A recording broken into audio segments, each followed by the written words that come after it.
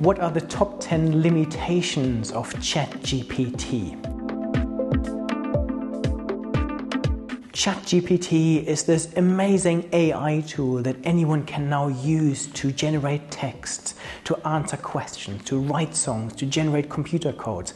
But are there any limitations? So in this video, I want to look at those. I'm Bernard Marr and I help companies understand the latest trends in business and technology so they can turn them into improved performance and profitability. For more, subscribe to my YouTube channel and my podcast, check out my articles on my website and have a look at my books, Tech Trends in Practice, Business Trends in Practice and Future Skills.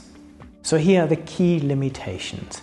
It has clearly limitations in understanding context, especially when it comes to sarcasm and humor.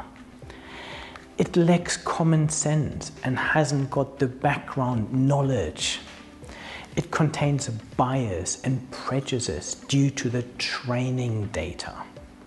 The model has difficulty generating long form structured content at the moment it can't really handle multiple tasks or objectives at the same time.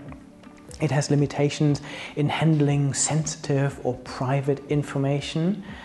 Its sensitivity to typos or grammatical errors and misspellings is limited at the moment, and it has difficulties ensuring the accuracy of information there's often a need for fine-tuning the model for specific use cases and there are limitations in terms of computational costs and power required to run the model. From a human point of view, there's also the challenge that when we have these powerful tools that we tend to believe in them. So we ignore that they are biased, they, we ignore that they don't understand the context, that they deliver some knowledge to you that we take as a given.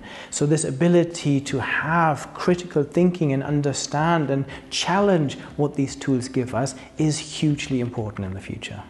There's so much more. This field is developing so fast. OpenAI is currently developing a new version of this that will become available this year. So if you want to stay on top of all of this, subscribe to my channel and connect with me on social media.